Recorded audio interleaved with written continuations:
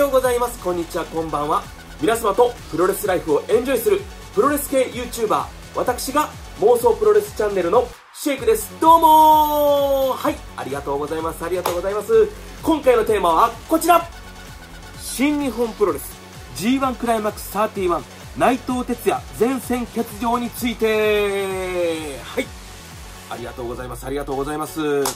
えー、今回この動画はですね内藤選手がですね、えー、G1 クライマックス、えー、欠場が確定してしまいましたので、そのことについて、えー、お話したいと思っておりますので、皆様最後までお付き合いくださいという形でございます。えーと、この動画を撮っているのが9月、えー、21日なんですけれども、えーと、今日、えー、新日の公式サイトの方で、えー、発表がありました。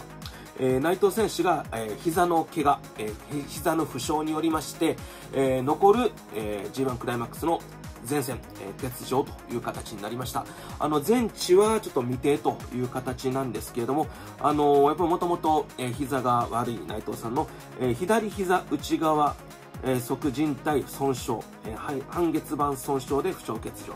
という形でございます。まあ、こちらですね、あのー、まあ、ある程度皆さんはもう、えー、ツイートなんかでですね、のコメントして、あそこではないか、ここではないか、みたいな形でおっしゃっていただいていると思うんですけど、私も、あこの今回の負傷決意を確定してから、えー、っと、ザック選手ですよね。あの、公式戦第一戦で当たったザック選手との試合っていうのを何度となく、その問題のシーンっていうのを見直させていただきました。えー、実際25分過ぎ、これぜひワールドご契約されている方、えー、機会がある方は見ていただきたいんですけれども、えー、っと、試合時間でいくと25分過ぎ、に、えー、その攻防あったんですが、えー、ザック選手がザックドライバーを狙うところを、えー、内藤さんが、え、ディスティーノで切り返したシーンですね。実際あの切り返しっていうのは本当に見事な決まり具合っていうところで、ある意味勝負の分岐点になったのではないかっていうぐらいの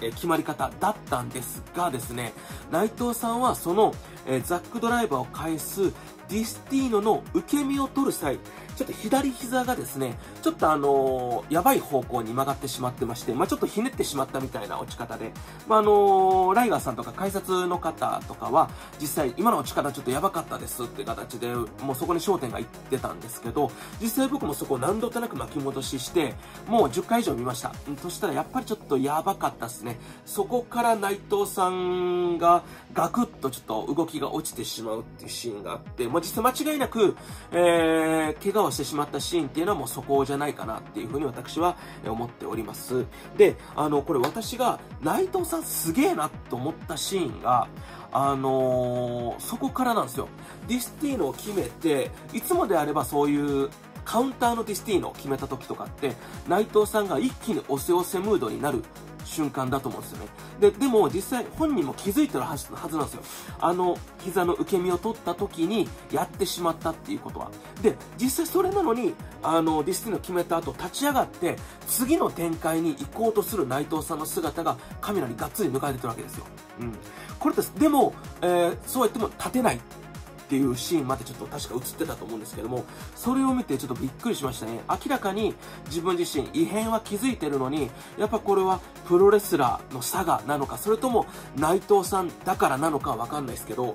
やっぱその瞬間、そのやばいなって異変を感じた後でも、チャンスだ今やらなきゃっていう内藤さんの、もう、あの、レスラーとしての意地っていうのをそこで、あの、見ることができました。はい。ぜひ、あの、このシーンご覧になられたい方は、ぜひ、あの、ワールドご契約、えー、してられてる方、ぜひ見直していただきたいなと思ってるんですけども、実際、そこからもう大きく勝ってしまって、内藤さんが、えー、ザック選手のバックを取りに行きます。えー、でもそこから、えー、バックをサムソンクラッチみたいな切り返して、膝十字で切り返しの、そして必殺のあの新技。で、も膝も、えー、首も腕も決められてギブアップ負けっていうような展開だったんですけれども、うん。でも本当に、ちょっとあのー、それまで内藤さんの動きっていうのは決して悪くなかったし、なんならいつもの内藤哲也そのものだったので、あのー、あそこでちょっとやっぱ怪我してしまったっていうのもとんでもなく不運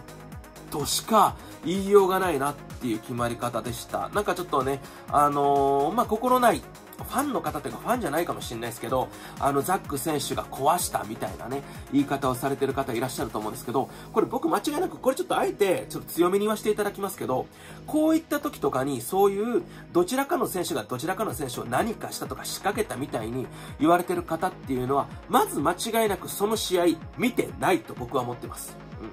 僕は実際そのシーン、リアルタイムでも見てましたし、今回それが、えー、怪我が分かってから何度となく見ました。でも間違いなくザック選手の攻防っていうのは、いつも通りのやっぱり関節技主体とするスタイルっていうのはこれ間違いないんで、これは内藤さんだから、えー、そういう風にしたってわけじゃないですよ。誰に対してもそうなんですよ。ザック選手っていうのは。それであるし、内藤さんをちょっとでも破壊してやろうっていう目線で仕掛けた攻撃っていうのは私の目からは何にも見えなかったです。あの、ダウンしてる内藤さんに対しての、あの、足、えー、膝へのフットスタンプがどうのこうのっていう、ちょっと文面を僕どっかで見たりしたんですけど、あれは、あの、実際ディスティーノで、えー、膝をやっちゃう前だし、そしてそのフットスタンプを決めたのは右膝でしたというところなんですよ。まあ、両膝ともね、内藤さん多分悪いと思うんですけれども、実際今回の問題となる箇所とはぜ、なん、なんだ、何らあの問題はありませんでしたということを僕の目で見て、それはもう明らかになったことですので、まあ、ここについては、まあ、ある意味ね、あの、そういうザック選手がどうのこうのっておっしゃってる方っていうのは、まず間違いなくその試合を見てない方、そしてまず僕の中では愉快犯、だという形でもう割り切ってますので、そういった方を相手にするのはもうやめていきましょうという形でございます。今、僕たちファンにできることっていうのは、もうやっぱり内藤さん、誰よりもやっぱり休むこととか、あ休むことを嫌いだし、試合をすること、プロレスをすること、ファンのみんなに、あの、プロレスを見てもらうことっていうのが一番好きな男じゃないですか。内藤哲也っていうのは。その選手が、やっぱりこの、欠場っていう道を選んだっていうことに関して、そこをきっちりと受け止めて、もう決して焦らず、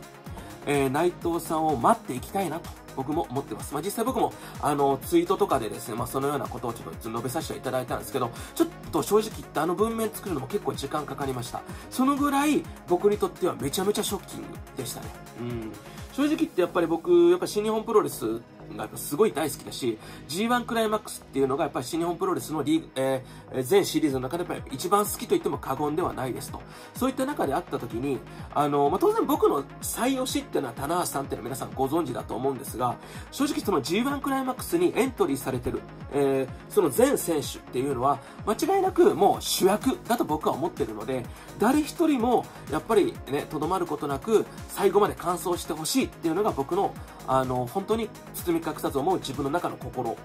だったので、やっぱりその中で、やっぱりその中でも主役の一人である内藤さんがこのような形で欠場になってしまうっていうのは、めちゃめちゃ残念、うん、っていうのが僕の今の気持ちです。なので、まあ、あの、ツイートでも言いましたけれども、本当に信じて待つ、うん、それしかないなと思ってます。ここに関しては、決して焦らすこともなくね、まあ、本人が一番、あの、焦っちゃうし、無念っていう気持ちはね、大いにあると思うんですけども、これもきっと、内藤さんのビッグカムバックのための、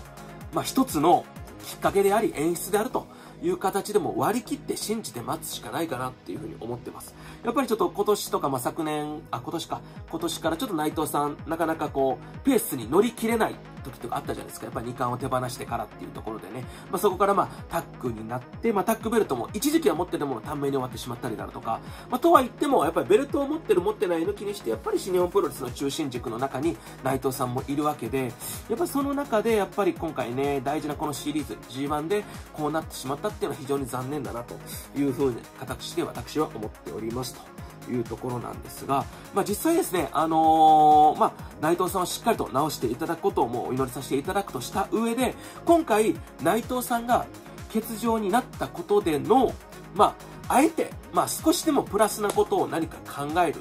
ということになった時でいくと、やっぱりその副産物って言い方あえてさせていただくんですが、内藤さんの代わりに、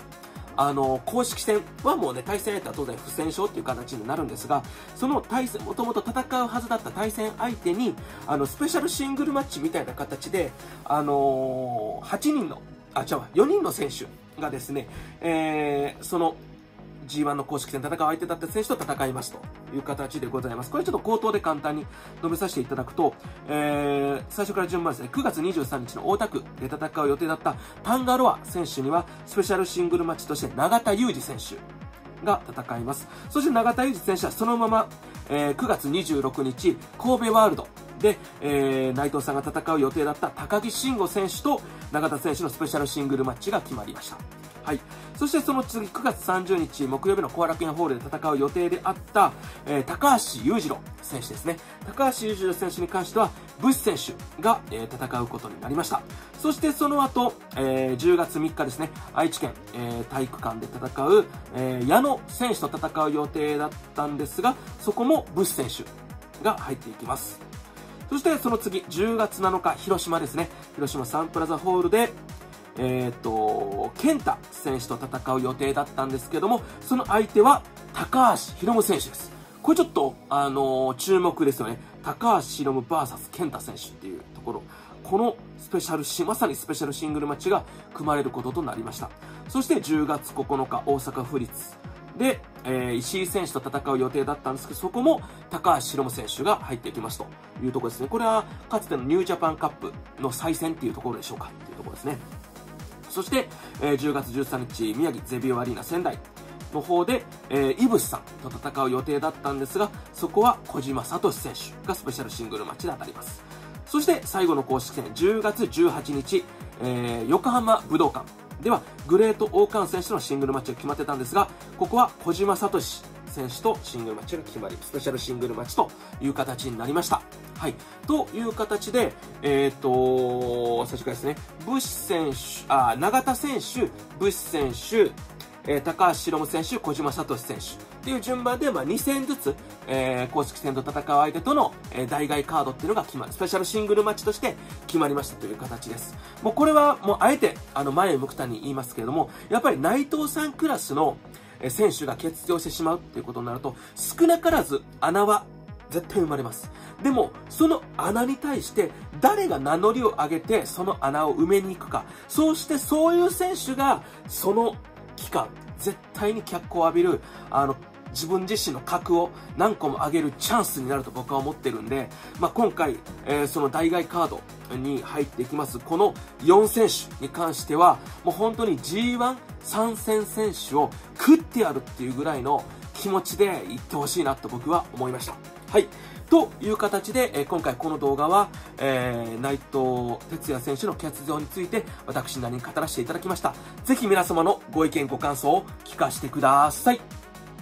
えー、皆様のお気持ちはいかがだったでしょうか？ぜひ皆様のご意見をこの YouTube のコメント欄、Twitter のコメント欄、DM 欄までどしどしとお寄せください。そして、この動画で扱ってほしいテーマっていうのも随時募集させていただいております。この団体のこの選手について、この団体のこの出来事について、みたいな形でどしっとぶつけていただければ、ちょっとお時間をいただくかもですけども、形にして皆様にお届けしたいと思っておりますので、これからもこの動画のリクエスト、皆様よろしくお願いいたします。そして、忘れちゃいけない高評価ボタンとチャンネル登録ボタン、こちらもポチポチと押していただいて、これからもこの妄想プロレスチャンネルのシェイクの動画を楽しみにしていただければと思っております。というわけで、最後までお付き合いいただいた皆様、どうもありがとうございました。お届けしましたのは、妄想プロレスチャンネルのシェイクでした。またねバイバイ